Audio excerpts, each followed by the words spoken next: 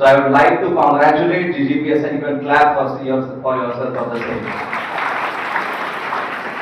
Guru Gobind Singh public school sector 5 में model United Nations programme का आयोजन हुआ जिसमें विद्यार्थियों के बीच वाद विवाद प्रतियोगिता हुई विजेताओं को अतिथियों ने पदक देकर सम्मानित किया गया कार्यक्रम के दौरान उच्च न्यायालय के अधिवक्ता राहुल लांबा और बेहतर झारखंड के संस्थापक विवेक सिंह बतौर अतिथि शामिल हुए इस दौरान विवेक सिंह ने कहा I think the Model United Nations is a very noble initiative.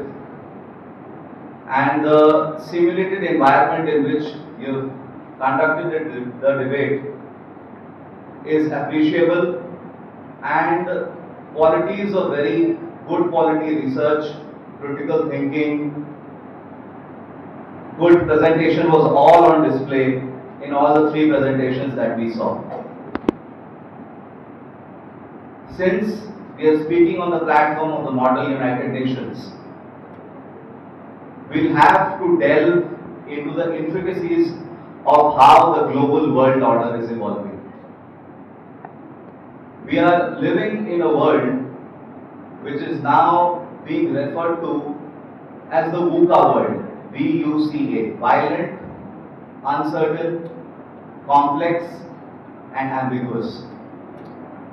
Where on one hand we are seeing parts of Europe embroidered in armed warfare and conflict, the Israel-Palestine crisis still brimming, technology changing day by day,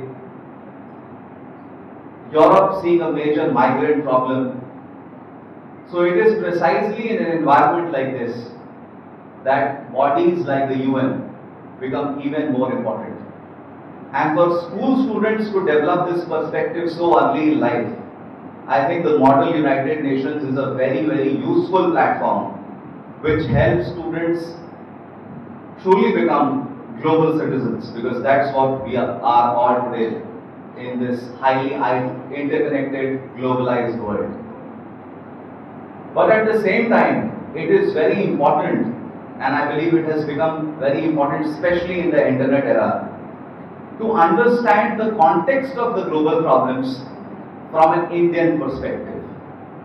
Because unless we do that, the kind of content that we are consuming is maybe increasingly biased and not give the right picture as far as our nation's interests are concerned. So, I was very glad that you took up the concept, the, the topic of CTBT. But I'll make a request to the school that maybe next year onwards, we can move to more uh, relevant topics like climate change and environment.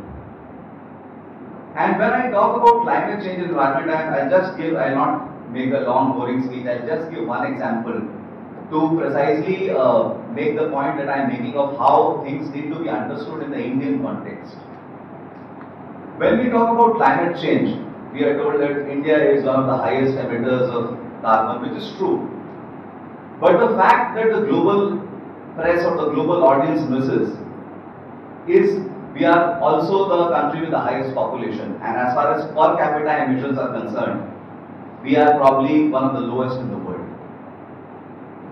When the world preaches to us that you should reduce your carbon footprint, let it also be clear that most of this industrialized world for the last 200 years had used coal, which is one of the most uh, high carbon intense fuel to power its growth. So for the world now lecturing India on the issue of climate change is a bit rich. Also, when we talk about the global perspective, we must keep in mind that the global village is not should not essentially become a western village.